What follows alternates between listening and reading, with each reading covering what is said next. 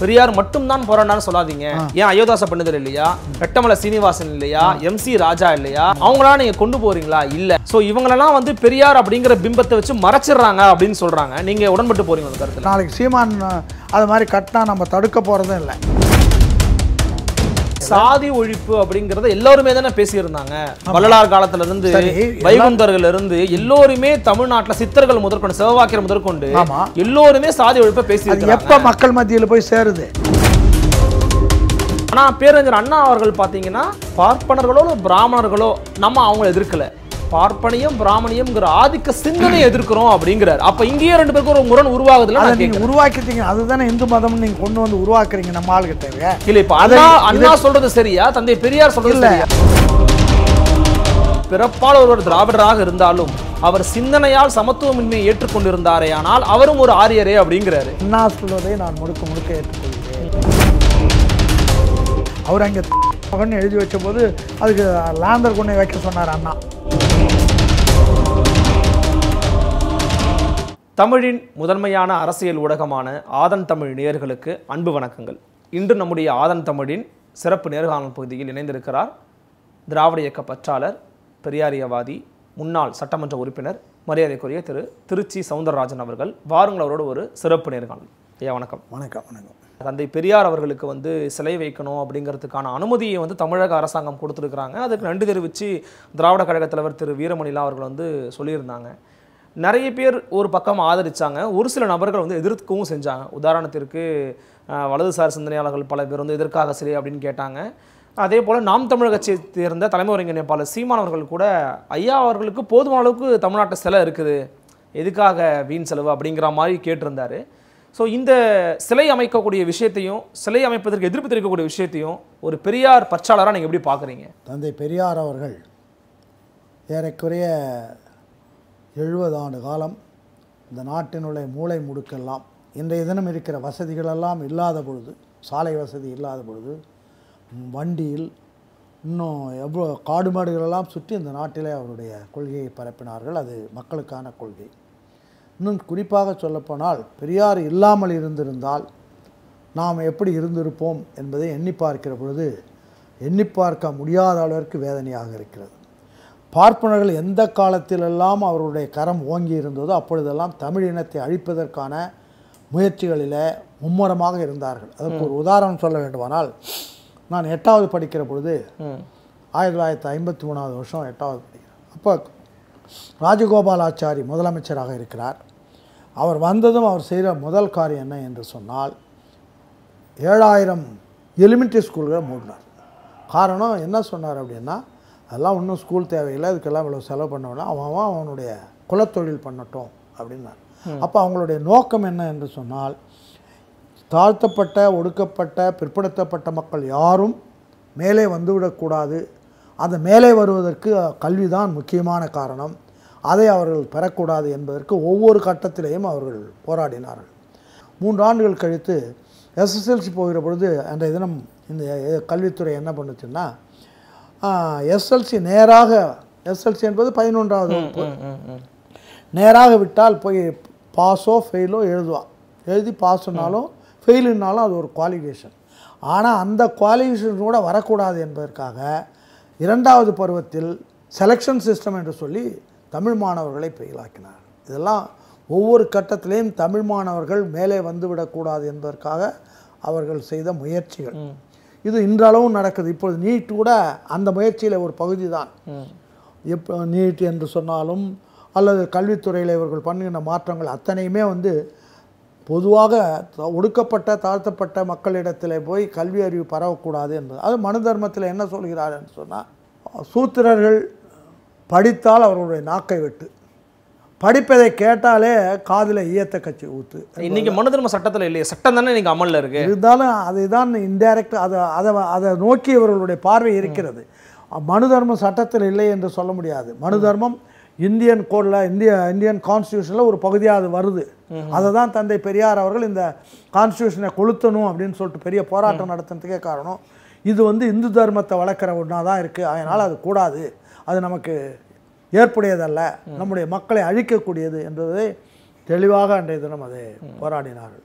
அதனால் இந்த இதெல்லாம் அதுக்கு வந்து தந்தை பெரியார் இப்பொழுது இல்லை. அந்த அடையாளங்களை இங்கே வைக்கிற பொழுது அப்பொழுதாவது நம்முடைய மக்கள் மனதில் ஒரு எண்ணங்கள் வரும். தமிழ்நாட்டுல நிறைய இடங்கள்ல இருக்கு. முக்கியமான இடங்கள்ல இருக்கு. தலைநகரத்துல இருக்குது. எவ்வளவு சிலைகள் இருக்கு. பெரியார் இருந்திருந்தாலே இந்த சிலையை வந்து ஏத்துக்க மாட்டாரு. என் கொள்கைகளை போய் பரப்புங்க. எதுக்கு சிலையை பரப்புறீங்கன்னு கேட்பாருன்றாங்க. கே- இவர்கள் சொல்கிற கருத்து ஒரு புறத்தை. பெரியார் காலத்திலே தானே சிலையை வச்சது முதல்ல.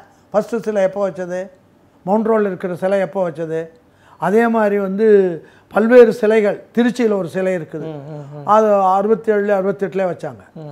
பெரியார் இறக்குறது எழுபத்தி நாலில் பெரியார் இருக்கும்போதே பெரியாருக்கு சிலை வச்சிருக்காங்க சிலை வச்சிருக்கிறாங்க. சிலை வைப்பது என்பது வந்து அவர் அதை பற்றி அதிகமாக கருத்துக்கள் சொல்லவில்லையே தவிர அவர் கூச்சப்பட்டு கொண்டு சொல்லி சொல்லி நினைத்து கொண்டு இருக்கலாம் ஆனால் அந்த சிலைகளை நமக்கு பார்க்கிற பொழுதோ அது அந்த விழாக்கள் நடைபெறுகிற நமக்கு ஒரு எண்ணம் ஏற்படுகிறது. அந்த எண்ணத்தை இளைஞர்கள் மத்தியில் கொண்டு போக வேண்டும் என்பதற்காகத்தான் ஒரு அடையாளமாக வைக்கிறோமே தவிர அது வைக்கக்கூடாது என்று சொல்லி இல்ல அது வந்து ஒரு படோடாபமா நடத்துறாங்க. ஒரு நூறு கோடி அதுல வந்து செலவு பண்றாங்க. அது ஒரு தனிப்பட்ட ஒரு அறக்கட்டளை பண்ணாலுமே கூட ஒரு நூறு கோடியில செலவு பண்றாங்க. நூத்தி முப்பத்தஞ்சு அடியில வைக்கிறாங்க.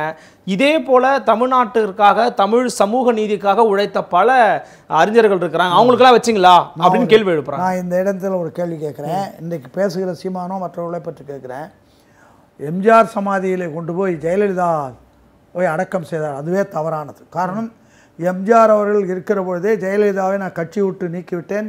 யாரும் அவளோடு தொடர்பு கொள்ளக்கூடாது என்று முழுக்க முழுக்க ஒரு அறிக்கை விட்டு முடிச்சிட்டார். முடிச்ச இடத்துல ஒன்று அங்கே உடனே இவங்க வைக்கிறாங்க. அன்னைக்கு இவங்கெல்லாம் வாயை மூடிட்டு இருந்தாங்க. அதுக்கு எண்பது கோடி செலவு பண்ணி அந்த அங்கே வந்து ஒரு சமாதி கட்டுறாங்க. யார் வீட்டு பணம்? ஒன்றரை லட்சம் ரூபாய் அண்ணா வந்து அமெரிக்காவுக்கு வைத்தியத்துக்கு போயிட்டு வந்தபோது ஒன்றரை லட்சம் செலவாயிட்டு அதையே அண்ணா அவர்கள் அரசாங்க செலவு கூடாது என்று சொல்லி அதற்கு வந்து கட்சி பணத்தை எடுத்து கொடுத்து அதை ரீஇம்பர்ஸ் பண்ணாங்க. அதே மாதிரி எம்ஜிஆர் அவர்கள் தன்னுடைய நினைவு சின்னமாக நினைவுக்காக எங்கேயா விலைக்கு வாங்கி வைக்கக்கூடாது என்று சொல்லி தன்னுடைய கட்டிடத்தையே தருகிறேன் என்று சொல்லி அவருடைய உயிரிலேயே எழுதி வைத்துட்டு தான் அதை செய்தார்கள். இதெல்லாம் நடக்கிற பொழுது எண்பது கோடி இவர்கள் செலவு செய்தார்கள். நான் கேட்கிறேன் இந்த விதம் பழனிசாமி கூட கேட்கிறார் நெல் கொள்முதல்கள் நெல்லெல்லாம் வீணாவது போகுது வருதுன்னு. நெல்லெல்லாம் வீணாகிற காலத்தில் நீ கொண்டே அங்கே இது க கல்லறை கட்டினிய. அன்னைக்கு வந்து அந்த எண்பது கோடியை கொண்டு விவசாயிகளுக்கு வேண்டிய அந்த கிடங்குகள் மற்ற வசதிகளை செய்து கொடுத்திருந்தால் விளைந்த நெல் வீணாமல் இருந்திருக்கும். அதையெல்லாம் உற்பத்தி உண்மையான காரணங்களுக்கு செலவு செலவு செய்தை விட்டுவிட்டு ஊதாரித்தனமான செலவுகளை நீங்கள் செய்வதற்கு உங்களுக்கு யார் இந்த அதிகாரம் கொடுத்தது என்று தெரியவில்லை. ஆட்சியிலே அமர்ந்து விட்டால் எதை வேண்டுமானாலும் செய்யலாம் என்று கருதி கொண்டால் ஒரு வரைமுறையே கிடையாது. இன்னும் சொல்லப்போனால் நூ நூற்றாண்டு காலமாக இன்னும் சேரிகள் இருக்கிறது. எழுபத்தைந்து ஆண்டு காலம் ஆயிடுச்சு இந்தியா சுதந்திரம் பெற்று அந்த சேரிகள் இந்த இதெல்லாம் அப்படியே இருக்கிறது. அதுக்கு மாற்று திட்டம் வேண்டாமா? இல்ல என்ன கேள்வி எழுப்புறாங்கன்னா சமூக நீதிக்காக போராடினார் பெரியார் அப்படின்னு சொல்றீங்க. பெரியாரும் போராடினார்னு சொல்லுங்க. பெரியார் மட்டும்தான் போராடினார்னு சொல்லாதீங்க. ஏன் அயோத்தாச பண்டிதர் இல்லையா? ரெட்டமலை சீனிவாசன் இல்லையா? எம் சி ராஜா இல்லையா? எத்தனையோ நபர்கள் தமிழ் சமூகத்துக்காக உழைத்தவங்க இருக்கிறாங்க. அவங்களாம் நீங்க கொண்டு போறீங்களா? இல்ல. சோ இவங்களெல்லாம் வந்து பெரியார் அப்படிங்கிற பிம்பத்தை வச்சு மறைச்சிடுறாங்க அப்படின்னு சொல்றாங்க. நீங்க உடன்பட்டு போறீங்களா? ஸ்டாலின் வந்து சிலை வைக்கிறது மணிமண்டபம். கட்டுறேன் அப்படின்றாரு. பண்ண வேண்டியது தானே? யார் பண்ண வேண்டாம் என்று சொன்னது அதெல்லாம் கிடையாது. பண்ண வேண்டாம் என்று பெரியார் எந்த காலத்திலும் சொல்லவில்லை. இப்போ நாளைக்கு சீமான் அது மாதிரி கட்டினா நம்ம தடுக்க போகிறதும் இல்லை. அதனால் பெரியார் காலத்துக்கு பிறகுதான் பெரிய விழிப்புணர்வு ஏற்பட்டது தமிழ் சமுதாயத்தில். அயோத்திதாசர் ஆகட்டும் ரெட்டமலை சீனிவாசன் ஆகட்டும் அல்லது மற்றவர்கள் செய்தார்கள் செய்யவில்லை என்று சொல்லி அவர்களுக்குரிய மரியாதையை நாங்கள் தந்து கொண்டு தான் இருக்கிறோம். என்றாலும் அந்த மரியாதை இருந்து கொண்டு தான் இருக்கிறது. யாரும் அவர்களை குறைத்து மதிப்பிடு.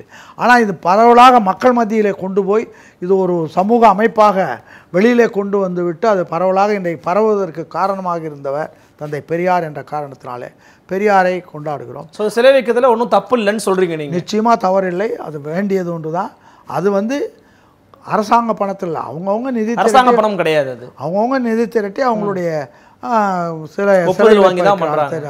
அரசாங்க பணத்தை எடுத்து ஊதாரித்தனமான பல்வேறு செலவுகள் நடைபெறுகிறது. அதையெல்லாம் தடுப்பதற்கு இந்த சீமான் முயற்சி பண்ணும் சீமானை போன்றவர்கள் முயற்சி செய்ய வேண்டுமே தவிர எண்பது கோடி அங்கே செலவு செய்தார்களே அந்த கல்லறையில் அது என்ன நியாயம் என்று நான் கேட்கிறேன். திராவிட இயக்கத்துக்கும் ஜெயலலிதாவுக்கும் எந்த சம்பந்தம் இருக்குது திராவிட இயக்கத்தையும் ஜனநாயகத்தையும் அழித்தவர் ஜெயலலிதா. அவர் வந்து இந்த மெரினா கடற்கரையில சமாதி வைக்கிறதையே ரொம்ப கடுமையா விமர்சனம்லாம் பண்ணியிருக்கிறாரு. இந்த மாதிரிலாம் வைக்கக்கூடாது அப்படின்னு சொல்லி அவர் திராவிட சுடுகாடு அப்படின்ற பதத்தெல்லாம் பயன்படுத்தி திட்டியிருக்கிறாரு. ஆனா பெரியார் சிலையை வந்து அவர் எதிர்க்கிறாரு அப்படிங்கிற ஒரு விஷயத்தை பார்க்கும்போது உங்களுக்கு என்ன தோணுது? ஏன்னா நீங்க அவரோட பழகி இருக்கிறீங்க அவரே கூட பெரியார் நீங்களே பேச பெரியாருக்கு இணை யாருமே கிடையாது. முதல்ல நான் பெரியார் வந்து ஒரு சமுதாயத்தை அடிமட்டத்தில் ஒன்றும் தெரியாத அடிமைகளாக பிள்ளை பூச்சிகளாய் புண்மை தேரைகளாக இருந்தவர்களை வெளியிலே கொண்டு வந்து பரப்பி மக்களுக்கு ஒரு இயக்கத்தை உருவாக்கி நம்ம எல்லாம் விழிப்புணர்வுக்கு கொண்டு வந்தவர் பெரியார். அந்த அளவுக்கு வேறு யாரும் இன்றைய தினம் இந்தியாவில் செய்யலை. அதனால் அவரோட கம்பேர் பண்ணி மற்றவங்கள பேச வேண்டியதில்லை. முன்னாடி இருந்தவங்க செஞ்சாங்க. செய்யலைன்னு சொல்ல அவங்களும் தனியாக நாங்கள் வாழ்த்துறோம் வணங்குறோம். மரியாதை தர்றோம் எல்லாமே தருவோம். அதுக்காக அதை கம்பேர் பண்ணி பெரியாரை வந்து நம்ம குறைக்க வேண்டிய அவசியம் சாதி ஒழிப்பு அப்படிங்கறத எல்லாருமே தானே பேசியிருந்தாங்க. வள்ளலார் காலத்துல இருந்து வைகுந்தர்கள் இருந்து எல்லோருமே தமிழ்நாட்டுல சித்தர்கள் முதற்கொண்டு சிவவாக்கியர் முதற்கொண்டு. எல்லோருமே சாதி ஒழிப்பை பேசியிருக்காங்க எப்போ மக்கள் மத்தியில் போய் சேருது? செவ்வாய்க்கியர் எழுதிட்டு போனார். அண்ணா பெரியார் சொன்னதை பரப்புனார். அப்படி தான் வருமே தவிர பெரியார் தான் இதற்கு மூலம். அவர் தான் அதை வந்து சம்மட்டி கொண்டு அடிக்கிறார். இதெல்லாம் கொஞ்சம் கூட யா எதை கவலை- வைதீக எதிர்ப்பு பிராமணி எதிர்ப்பு அப்படிங்கிறது தமிழர்கள் நீண்ட காலமா நம்மளுடைய ஒரு கொள்கையில வச்சிருந்த விஷயம் அதுக்கு என்ன புதுசு? கிடையாது அப்படிங்கிறாங்க இல்லை பைதிக இருப்பு பார்ப்பன இருப்பு இருந்தாலும் பார்ப்பனர்கள் எங்கே நினைக்கிறான்னா மூன்று சதவீதம் இருக்கிற பார்ப்பனர்கள் நம்ம எல்லாம் மற்ற விவரம் தெரியாத மக்களை எல்லாம் இந்துக்கள் என்று சொல்லி இந்துக்கள் என்கின்ற அந்த வலைக்குள்ள எல்லாரையும் அடக்கி அந்த சக்தியை காட்டுறாங்களே தவிர மூன்று பர்சன்ட் பாப்பானுங்க மாத்திரம் தனியாக எடுத்துக்கிட்டு பண்ணுறாங்களான்னா இல்லை. இந்துன்று இல்லாத ஒரு மதத்தை. இந்து மதம் என்று ஒன்று கிடையாது.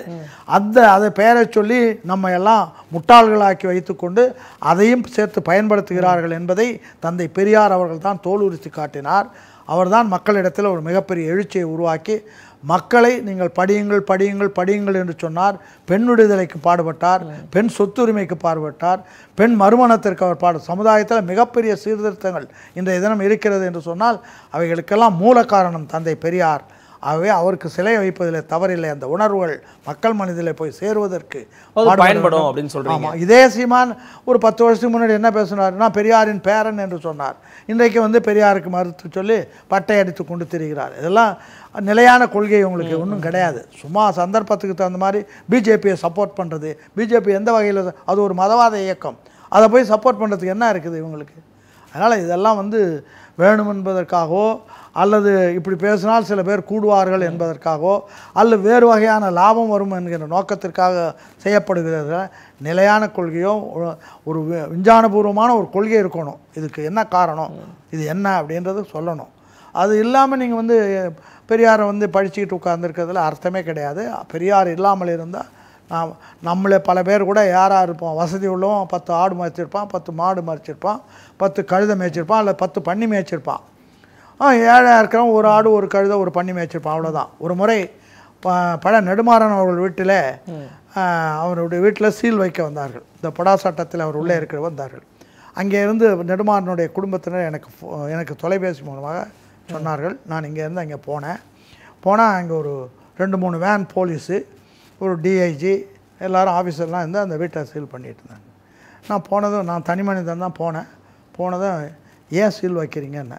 இல்லை ஆர்டர்னாங்க எங்கே ஆர்டர் காட்டுங்கன்னா ஆர்டர் பார்த்தா அதில் வந்து ஆஃபீஸுக்கு சீல் வைக்க சொல்லிட்டு இருக்குது ஆஃபீஸ் தானே வச்சுருக்கு பத்திரிக்கை அலுவலகத்துக்கு ஏன் வச்சிங்க? திறந்து விடுங்கன்னு அப்போ அந்த அதிகாரி என்ன சொன்னாருன்னு சொன்னால் நான் ரிப்போர்ட்டெல்லாம் எழுதிட்டேன். நீங்கள் நீங்கள் நாளைக்கு கோர்ட்டில் ப்ரெசென்ட் பண்ணுங்கள் நான் திறந்து விட்டுறேன். நான் நோ அப்ஜெக்ஷன் சொல்லிடுறேன் அப்படின்றாரு. ஓகே. சரி நான் சொன்னேன் அப்புறம் எனக்கு அப்பயும் கோபம் தீரலை அப்போ சொன்னேன் ஐயா நீங்கள் போட்டிருக்கிற இந்த பூட்ஸு இந்த சட்டை இந்த தொப்பி இந்த ஸ்டாரு இதெல்லாம் உங்கள் அப்பா வாங்கி கொடுத்ததா நினைக்காதீங்க.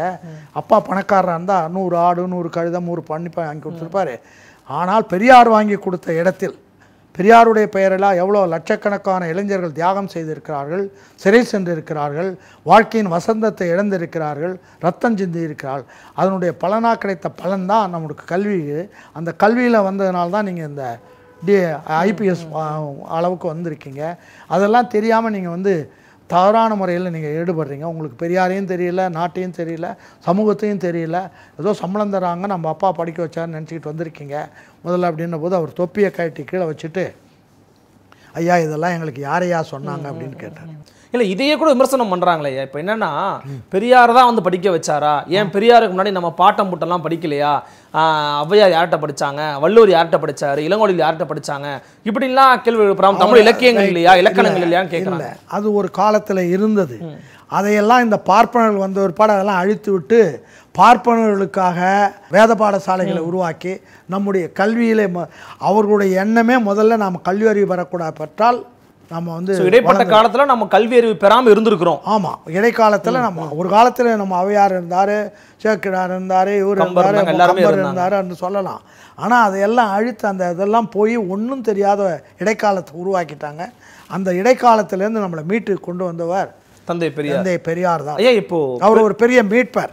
தமிழ் இனத்தை திராவிட இனத்தை மீட்டு கொண்டு வந்தவர் பெரியார். அவர் ஒரு மீட்பர் என்றே நான் சொல்லுவேன். அவர் இல்லாமல் இருந்தால் இந்த இதெல்லாம் பேட்டி கொடுத்து கொண்டிருக்கிற நான் கூட ஏதாவது பத்து ஆடு மாடு மேய்த்து கொண்டு இருந்திருப்பேனே தவிர இந்த அளவிற்கு பேட்டி கொடுக்குற அளவுக்கு எனக்கு அறிவும் இருக்காது. எதிர்த்து பேசுகிற அளவுக்கு அறிவும் இருக்காது. இதையெல்லாம் கொண்டு வந்து சமுதாயத்தில் சேர்த்தவர் பெரியார். இந்த இதெல்லாம் பெரியாரை எதிர்க்கின்றவர்கள் கூட நான் சொல்லுவேன் பெரியார் இல்லாமல் இருந்திருந்தால் சீமான் என்ன பண்ணியிருப்பார்? அவருடைய கிராமத்தில் ஏதாவது ஆடு மாடு பண்ணி மேய்ச்சிருப்பார். அவ்வளோதான் நடந்திருக்குமே தவிர வசதியாக இருந்தால் பத்து ஆடு மேய்ச்சிருப்பார் ஏழையாக இருந்தால் ஒரு ஆடு மேய்ச்சிருப்பார். அவ்வளோதான் அதனால் பெரியாரினால் கிடைத்த அந்த வசதியை வைத்து நாம் வளர்ந்திருக்கிறோம். அந்த வளர்ச்சியை எதிர்கால சமுதாயத்துக்கு கொண்டு போவதற்கு பெரியார் நமக்கு என்றும் தேவை இன்று மட்டுமல்ல என்றும் தேவை என்பதை தான் நான் உறுதியாக நிச்சயமாக நீங்கள் சொல்லும்போது நீங்கள் வந்து அண்ணா காலத்திலிருந்து எம்ஜிஆர் காலத்திலிருந்து இந்த திராவிட இயக்கத்தின் மீதான ஒரு மிகப்பெரிய பற்று கொண்ட ஒரு நபர். பெரியார் அவர்களுக்கும் அண்ணா அவர்களுக்குமான அந்த உறவு குறித்து நான் உங்கள்கிட்ட நிறைய தடவை பேசணும் முயற்சி பண்ணியிருக்கிறேன். ஸோ இதுக்கு ஒரு நல்ல வாய்ப்பாக நான் கருதிக்கிறேன். பெரியார் அவர்களை அண்ணா அவர்கள் எப்படி வந்து அணுகுனாரு? அவர்களுக்கு அவர்கள் இருவருக்கும் இடையிலான உறவு அப்படிங்கிறது எப்படி முகிழ்ந்தது? எப்படி வந்து இருவருக்கும் இடையிலான உறவு பிரிந்தது? அவருடைய கொள்கைகள் பால் ஈர்க்கப்பட்டு அண்ணா அவர்கள் காஞ்சிபுரத்திலே பிறந்து வளர்ந்தார்கள். அன்றைய தினம் காஞ்சிபுரம் வெறும் மதவாதிகளாலும் ஜாதிவாதிகளாலும் சூழ்ந்திருந்த சூழ்நிலையில் அவர் உணர்றாரு. அப்போ பெரியார் வந்து பிரச்சாரம் செய்கிற போது அந்த பிரச்சாரம் எடுபடுகிறது. அந்த பிரச்சாரத்தை நோக்கி அண்ணா நகரு போகிறார். போகிற போது அது அது நா- இந்த நாட்டுக்கு தேவை மக்களுக்கு தேவை என்பதை உணர்ந்து அவர் பின்னாலே போகிறார். அவர் பின்னாலே போய் அந்த இயக்கத்தை வளர்க்கிறார். அதற்கு பின்னாலே காலப்போக்கில் கரு சில கருத்து வேறுபாடுகள் அண்ணாவுக்கும் அவருக்கும் வருகிறது. அதில் பெரியார் வந்து அந்த திருமணம் செய்கிற பொழுது அவர் அவருக்கு அது ஒரு நிகழ்ச்சி. அதே போல் சில பல நிகழ்ச்சிகள் உண்டு. அது ஒரு கடைசியாக நிகழ்ந்த நிகழ்ச்சி. அதனால் அந்த நிகழ்ச்சியிலேருந்து சரி இனிமே நாம் வந்து இதை வந்து அரசியல் ரீதியாக போய் மாற்றினால் உண்டு. அவர் உலக வரலாறு பூரா அண்ணா படிக்காத புத்தகம் அண்ணா என்னை பொறுத்த வரைக்கும் தினம் நாலு மணி நேரம் நான் படிக்கிறேன். அண்ணாவை விட பெரிய அறிஞர் இருப்பதாக நான் நினைக்கவில்லை. அங்கதான் எனக்கு ஒரு சந்தேகமே இருக்கு. என்னன்னா அவ்வளவு ஒரு படிப்பாளி உலக தத்துவங்களை கருத்து கொடுத்த ஒரு நபர் ஒரு முற்போக்கு சிந்தனையாளர் ஒரு பகுத்தறிவாளர் தந்தை பெரியார் அவர்கள் தன்னை விட வயது குறைந்த ஒரு பெண்ணை திருமணம் பண்ணிக்கிட்டாரு. அப்படிங்கிற ஒரு ஒற்றை காரணத்தை வச்சு யாராவது வந்து பிரிவாங்களா? இதை வந்து இது பிரச்சாரமாக நம்ம பண்ணியிருக்கிறோம் முதல்ல. இல்ல இதுதான் இப்போது வரைக்கும் இல்ல, களத்துல எல்லாரோட மனசுல இருக்குது. ஆனா உண்மை என்ன அப்படிங்கிறது எனக்கு தெரியும் உண்மை வந்து நான் சொல்கிறேன் புரட்சி பாவேந்தர் பாரதிதாசன் வந்து மூட திருமணங்களை பற்றியெல்லாம் எழுதியிருக்கார். சரி. அந்த திருமணம் அந்த நீங்கள் பாரதிதாசனுடைய முதல் பகுதியை எடுத்து இளைஞர்கள் படிக்க வேண்டும். படித்தால் இந்த கருத்துக்கள் எல்லாம் அதில் வருது. எப்படின்னா வயது இந்த வயது வித்தியாசத்தில் தான் இருக்கணும் இப்படி இல்லணும் அப்படின்றதெல்லாம் வருது. அது வேறு விஷயம். பெரியார் அந்த பெரியார் இடத்துல அந்த அம்மையார் பணியா பணியாளராக வந்து படிப்படியாக அவருடைய உள்ளத்தில் இடம் பெற்று விடுகிறார். அதை அவர் செயல்படுத்த முடுக்கிறார் அப்பொழுது அண்ணாவுக்கு தோன்றி இருக்க வேண்டிய காரணம் என்ன என்று நான் கருதுகிறேன் என்று சொன்னால் பெரியார் தனி மனிதனாக தலைவராக இருக்கிற பொழுது அவரை நேரடியாக போய் அண்ணா பார்க்க முடியும் போக முடியும். அது இல்லாமல் மனைவி என்ற ஒரு அந்தஸ்தை ஒருத்தர் கொடுத்து விட்டால் அந்த அம்மாவினுடைய அனுமதி இல்லாமல் அந்த அறைக்குள் நம்ம போக முடியாது. ஒன்று இது ஒரு காரணம். உண்மைதான். நானாக நினைக்கிற ஒரு காரணம். அதோடு மட்டுமல்லாமல் உலகத்தில் இருக்கிற அறிஞர்கள் எல்லாம் பல கருத்துக்களை சொல்லிவிட்டாலும் அது அரசியல் வடிவம் கொடுக்காமல் இருந்தால் காலப்போக்கில் அது கரைந்து விடும் இதைத்தான் தந்தை பெரியார் அவர்களே கூட அவர் மீது நீதிமன்ற நீதிமன்ற வழக்கு ஒன்று வந்தது. நீதிமன்ற அவமதிப்பு வழக்கு வந்து சென்னை உயர்நீதிமன்றத்தில் நடைபெறுகிற பொழுது அவர் அப்பொழுது சொல்கிறார். அப்படி என்ன சொல்கிறார்? ராஜமன்னார் உட்கார்ந்திருக்கார் ஒரு ஐயங்கார் ரெண்டு நீதிபதிகள். அப்பொழுது நான் ஒரு ஸ்டேட்மெண்ட்டை படிக்கலாமா என்று படிக்கிற பொழுது படித்து வருகிற பொழுது அவர் சொல்கிறார். பார்ப்பனர்களை பற்றி பார்ப்பனருடைய கொடுமைகளை பற்றி வழக்கறிஞரும் பார்ப்பார் பிபியும் பார்ப்பனர் நீதிபதியும் பார்ப்பனர் எல்லாமே பார்ப்பானாந்துக்கிட்டு ஒரு சாதாரண மலையப்பன் என்கிற ஒரு கலெக்டரை வந்து அசிங்கமாக ஒரு தீர்ப்பு சொல்லப்படுகிறது. நான் மலையப்பனை யாருன்னு எனக்கு தெரியாது. மலையப்பன் இங்கே கரெக்டாக அவரை நான் பார்த்ததும் இல்லை போனதும் இல்லை. மலையப்பன் குளித்தலையில் ஒரு தீர்ப்பு சொல்கிறாரு அந்த தீர்ப்பு சரியில்லை அப்படின்னு ஒருத்தர் வழக்குக்கு வந்தால் அந்த தீர்ப்பு சரியில்லைன்னு ஒரு மாடிஃபிகேஷன் நீதிபதி கொடுக்கணும். சரி. அதை விட்டுட்டு அந்த நீதிபதி என்ன சொல்கிறாருன்னா அதுக்கு அப்பாற்பட்டு மலையப்பன் க க- கலெக்டராக இருக்கிற தகுதியே இல்லாதவர் என்கிற அளவு தீர்ப்பு சொல்கிறார். அவர் ஒரு தாழ்த்தப்பட்ட சமுதாயத்தை சார்ந்தவர். பட்டியல் அதனால் அவரை வந்து இந்த அளவுக்கு இந்த பார்ப்பன சக்தி அப்படி சொல்லுதுன்றதுனால நான் இங்கே தான் உனக்கு உள்ள அதிகாரத்தில் நீ அந்த தீர்ப்பை தப்புன்னு சொல்லி மாற்றி சொல்லிட்டு போ அது இல்லாமல் நீ அவர் தகுதி இல்லாதவன்னு சொல்கிறதுக்கு நீ யார்? நீ பாப்பானா இருக்கிறதுனால சொல்கிற அப்படின்னு வந்து ஒரு பெரிய கூட்டம் நடத்தி அதை கொண்டு வர்றார். சென்னை திருச்சியில் டவுன் ஹாலில் ஒரு பெரிய கூட்டம் போட்டு ஆயிரக்கணக்கான மக்கள் முன்னால் டேமேஜ் பண்ணுறாரு அது வழக்க வழக்காக வருது இங்கே. வந்தபோது அதுக்கு சொல்கிற போது அவர் சொல்கிறாரு ஸ்டேட்மெண்ட் நான் படிக்கிறேன்றாரு. படிக்கிற போது பல ஆதாரங்கள் பார்ப்பனர்கள் என்னென்னலாம் செஞ்சுருக்காங்க அப்படின்றத சொல்கிற போது டெல்லியில் பார்லிமெண்ட்டில் அனந்தசயனம் ஐயங்கார் என்ற ஒரு ஸ்பீக்கர் இருக்கார். அவருக்கு ராஜாஜி இங்கேருந்து எழுதுறாரு. பெங்களூரில் மைசூரில் ஒரு வழக்கு. ஒரு பார்ப்பன அதிகாரி அங்கே இருக்கிற நீதிபதிக்கு விஷம் கொடுக்கறதுக்கு அங்கே இருக்கிற ஒரு ஆளை தயார் பண்ணி கொடுக்குறோம். அந்த வழக்கு வருது. அந்த வழக்கு வந்தபோது இங்கேயே மைசூர்லேயே அந்த வழக்கு நடந்தால் அவனுக்கு நிச்சயமாக தண்டனை கொடுத்துருவாங்க. அதனால் நீ ஸ்டேட் டு ஸ்டேட் மாநிலங்களுக்கு இடையில் வழக்குகளை வேறு மாநிலங்களுக்கு மாற்றலான்னு சொன்னால் எந்த மாநிலத்தில் நமக்கு வசதி இருக்கோ அந்த மாநிலத்தில் சொல்லி அவனை அக்யூட்டல் தீர்ப்பு அவனை தண்டனை இல்லாமல் பண்ணிடலான்றதுக்காக அப்படி ஒரு தீர்மானம் பார்லிமெண்ட்டில் கொண்டு வர சொல்லிட்டு ராஜாஜி சொல்கிறார் ஒரு சாதாரண பாப்பானை தப்பு வைக்கிறதுக்காக அனந்தசயனமயங்கிற ஸ்பீக்கருக்கு சொல்லி ஒரு தீர்மானத்தை பாராளுமன்றத்தில் கொண்டு வர சொல்கிறார் அந்த அளவுக்கு பார்ப்பன சக்தி இருக்கிறது. ஆனால் இங்கே இதை மாதிரி சொல்கிறானுங்க அதனால் அவங்க வந்து நமக்கு எந்த காலத்திலும் உதவிகரமாக இருக்கான்னு போது ராஜமன்னார் கேட்குறார் அப்போனா பாப்பானுங்க எல்லாருமே அப்படி தானான்றாரு அதுக்கு ராஜ தந்தை பெரியார் சொல்கிறாரு புலி புல்லை தின்றால் வேம்பு இனித்தால் கரும்பு கசந்தால் பிறவி கோளாறு. பாப்பான் நமக்கு நன்மை செய்கிறான்னா அவன் பிறவி கோளாறாக இருப்பானே தவிர ஒரிஜினல் பாப்பான் எவனும் நமக்கு செய்ய மாட்டான்றார். இப்படி நான் சொல்கிறதெல்லாம் கூட எவ்வளோ காலத்து நிலைக்கும்னு சொல்ல முடியாது. எனக்கு பின்னால் இது எவ்வளோ காலம் வரும்னு சொல்ல முடியாது. எவ்வளோ மக்கள் இதை தொடருவாங்கன்னு சொல்ல முடியாதுன்ற போது இதையெல்லாம் எடுத்துக்கொண்டு தான் அறிஞர் அண்ணா அவர்கள் இதெல்லாம் அரசியல் வடிவம் கொடுத்தால்தான் இது நிலைச்சு நிற்கும்னு தான் அவருடைய உள்ளத்தில் படுது. அது கரெக்டு தான். ஆனா இப்போ நீங்க சொல்றதுலயே கூட அண்ணா முரண்பட்டார் தானே? எப்படின்னா உதாரணத்திற்கு தந்தை பெரியார் அவர்கள் வந்து பிறப்பின் அடிப்படையில ஒருத்தர் குறிப்பிட்ட சமூகத்தை சேர்ந்தவராக இருந்தாலே எதிர்க்கணும் அல்லது உதவி செய்ய மாட்டாங்கிற ஒரு முடிவுக்கு இரு- இருக்கிறாரு. ஆமாம் ஆனா பேரறிஞர் அண்ணா அவர்கள் பாத்தீங்கன்னா பார்ப்பனர்களோ பிராமணர்களோ நம்ம அவங்கள எதிர்க்கல. பார்ப்பனியம் பிராமணியம்ங்கிற ஆதிக்க சிந்தனையை எதிர்க்கிறோம் அப்படிங்கிறாரு. அப்ப இங்கேயே ரெண்டு பேருக்கும் ஒரு முரண் உருவாகுதுல கேட்கிறேன். உருவாக்கிட்டீங்க. அதுதானே இந்து மதம்னு நீங்கள் கொண்டு வந்து உருவாக்குறீங்க நம்ம ஆளுகிட்ட இல்ல இப்ப அண்ணா அண்ணா சொல்றது சரியா? தந்தை பெரியார் சொல்றது இல்லை அண்ணா அதுக்கு முன்னாடி ஆரிய மாயை எழுதியிருக்காரு. ஆமா. பாப்பானன்னா இப்படி தான் இருப்பான்னு சொல்லிட்டு ஒரிஜினல் பாப்பானை பற்றி அவர் எழுதிட்டார். அந்த ஆரிய மாயை அது கூட தடைப்படுத்தப்பட்ட புத்தகம் அப்புறம் திரும்ப வெளியில் வருது. அதுக்கு பிறகு இல்ல அவரோட இறுதி கருத்து தான் நம்ம அவரோட கருத்தை எடுத்துக்க முடியும். அப்போ அவர் இறுதி கருத்து இப்படிதான் இருக்குது. எப்படி? நம்ம ஆதிக்கத்தை எதிர்க்கணும். இல்ல, அவர் அதுலயே வந்து நல்ல சிந்தனை இருக்கிறவங்க முற்போக்கு சிந்தனை இருக்கிறவங்க எவ்வளவு பேர் சமூகம் பார்த்திருக்கேன் அவர் என்ன பார்க்குறாருன்னா இங்கேயும் நம்முடைய ஆட்களை பல பேர் பார்ப்பனர்கள் மாதிரி இருக்கிறாங்க. அதை மாற்ற இது பார்ப்பனியம் இதை ஒழிக்கணும் அப்படின்றது சில பார்ப்பனர்கள் நல்ல பார்ப்பனர்கள் இருக்கலாம் இருக்கிறார்கள். இல்லை என்று சொல்லவில்லை ஆனால் பார்ப்பனர்கள் ஒரிஜினல் கேரக்டர் என்பது உங்களுக்கு வந்து படிப்பு கொடுக்கக்கூடாது உங்களை வளர்க்கக்கூடாது உங்களை கீழே தான் வச்சிருக்கணும் அப்படின்றது தான் அவருடைய அவருடைய இல்ல அவர் சொல்றாரு பிறப்பால் ஒருவர் திராவிடராக இருந்தாலும் அவர் சிந்தனையால் சமத்துவமின்மையை ஏற்றுக்கொண்டிருந்தாரே ஆனால் அவரும் ஒரு ஆரியரே அப்படிங்கிறாரு. அப்ப அவருடைய. கொள்கை ரீதியா தான் இருக்குது. அண்ணா சொல்வதை நான் முழுக்க முழுக்க ஏற்றுக்கொள்கிறேன். ஆனால் வந்து இதையும் மாற்றணும் அது அப்படியே இருக்குது அதுதான் ஒரிஜினல் மூலம். அங்கேருந்து உற்பத்தி ஆகுது. உற்பத்தி ஆகிறத நம்ம ஆள் எடுத்துக்கிட்டான். எடுத்துக்கிட்டு இவன் வந்து பார்ப்பனியத்துக்கு அடிமையாயிடலாம் இதையும் இவனுடைய உள்ளத்தில் இருக்கிற பார்ப்பனியம் என்கிற அந்த உணர்வுகளை அழிக்க வேண்டும் என்பதற்காகத்தான் சமுதாயத்தை மொத்தமாக திருத்தணுன்றதுக்காக தான் அண்ணா இல்ல அப்ப உண்மையான காரணம் தான் என்ன? எதற்காக அண்ணா அவர்கள் பெரியார் விட்டு வெளியில வந்தாங்க? எதுவாக இருந்தாலும் பெரியார் சொன்ன கருத்துக்கள் அத்தனையும் தேவையானவை முக்கியமானவை. இந்த நாட்டுக்கு இந்த தமிழ் இளைஞர் சமுதாயத்துக்கு தேவையானவை. அதற்கு ஒரு அரசியல் வடிவம் அரசு வடிவம் கொடுக்காமல் இருந்தால் காலப்போக்கில் இதை போயிடும். அதனால் அதுக்கு ஒரு வடிவம் கொடுக்க வேண்டும் என்பதற்காக நினைத்து கொண்டிருக்கிறார். அதுக்கு இந்த சம்பவம் பெரியார் மணியம்மையை மணக்கிற ஒரு சம்பவம் அதுக்கு இல்ல, ஆனா அது அண்ணாவுக்கு வந்து தெரியாதா? பிற்காலத்துல நம்ம இளைஞர்களே வந்து இது ஒரு பிற்போக்கு சிந்தனை நினைப்பாங்க அப்படின்னு தெரியாதா அண்ணாவுக்கு? அண்ணா இதெல்லாம் நம்ம ஒரு காரணமா சொல்றதா சார் அப்படின்னு? நம்ம சொல்ல வேண்டியதை சொல்லிவிட்டால் அதுக்கு பிறகு எத்தனை இப்போ நான் அண்ணா சொன்னதை நான் சொல்லிட்டு உட்காந்துருக்கேன் நான் நான் அறியாமையிலே இருந்தேன்னு நான் சொல்லுவேனா? என்ன பிள்ளையில ஒன்றா நான் குழந்தை பிறந்தது என்ன பண்ணுவாங்க? காது குத்துவான் மொட்டை அடிப்பான் ராமம் போடுவான் அல்லது பட்டை அடிப்பான். அதுலேருந்து நம்ம வெளியில் வந்துடுறோமே.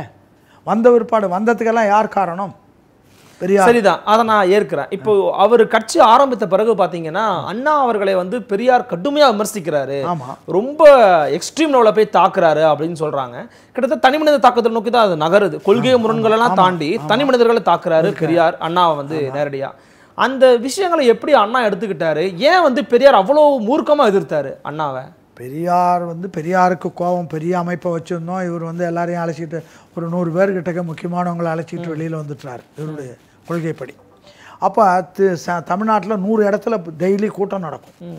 மக்கள் மத்தியில் பிரச்சாரம் அதிகமாக நடக்கும். அது அவருடைய நம்ம வளர்த்து வச்சதை இவர் இப்படி கொண்டு போயிட்டார் அப்படின்றத ஒரு கோபம் பெரியாருக்கு அது இருக்கும். அது வேற. அண்ணா என்ன சொல்கிறாருன்னா அளவுகோல் எதுன்னு ஒரு கட்டுரை எழுதியிருக்கார். அதில் என்ன சொல்கிறாருன்னா பெரியாருடைய வயதுக்கும் தகுதிக்கும் திறமைக்கும் அனுபவத்திற்கும் உழைப்பிற்கும் அவர் நம்ம எதை வேணாலும் சொல்கிறதுக்கு அவருக்கு உரிமை உண்டு.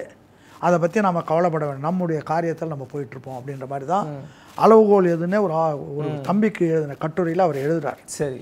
அதனால் வந்து பெரியார் என்ன வேணால் சொல்லட்டும். இல்ல அண்ணா ஏத்துக்கிட்டது அண்ணா உள்வாங்கிட்டாது அண்ணா புரிதல் நமக்கு தனியா வச்சுக்கலாம். ஆனா பெரியார் ஏன் அவ்வளவு காட்டமா பேசணும் அப்படின்னு அவங்களை கேட்க பெரியாருடைய இயல்பு பெரியார் எப்பயுமே ஓ, எல்ல- எந்த விஷயத்தை எடுத்தாலும் சொல்ல வேண்டிய விஷயத்தை அழுத்தமாகவும் வேகமாகவும் சொல்லக்கூடியது அண்ணா வந்து அதை சாப்பிட்டா சொல்லி அண்ணா வந்து என்ன நினைப்பாருன்னா அண்ணா போராட்டங்கள் நடத்துகிற இல்ல உங்களுக்கே தெரியும் நினைக்கிறேன். அண்ணா என்னென்ன வார்த்தைகள் அவர் பேசினாரு? தெரியும் தெரியும் எனக்கு. என்ன போஸ்டர் ஒட்டப்பட்டுச்சு? ஒட்டதே இந்த இது எல்லாமே தெரியும் எனக்கு.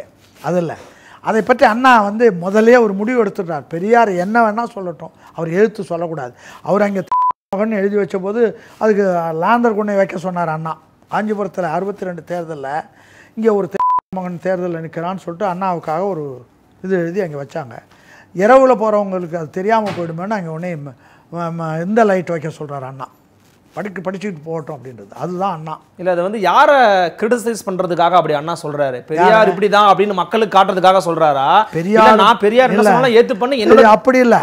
பெரியார் சொல்கிறத பற்றி நாங்கள் கவலைப்படல. அவர் என்ன வேணால் சொல்லி போட்டோம் நாங்கள் நாங்களாக இருக்கோம். அவர் அவராக இருக்கட்டும். பெரியாருடைய கொள்கை பெரிய அதை தான் சொல்லுவாங்க பெரியார் கோவப்படுத்திருக்கா தான் நான் பெரியாருடைய மருந்து வந்து நேரடியாக உங்களுக்கு அப்படியே அரைச்சி வாயில் ஊற்றுறது அண்ணா கொடுக்குற மருந்து கேப்சூல்ஸ் தெரியுதா? அதை மருந்தை இதுக்குள்ளே கேப்சூலை வச்சு வளர்த்துறது. அண்ணா சாஃப்ட் கோயிங் பெரியார் பெரியாருடைய இயல்பு அது. நீங்கள் எதை அடித்தாலும் பிள்ளையாரை தூக்கி அடிச்சுக்கிறாரு இது ராமரை செருப்பால் அடிக்கிறாரு. இதெல்லாம் வந்து பெரியாருடைய இயல்பு அது.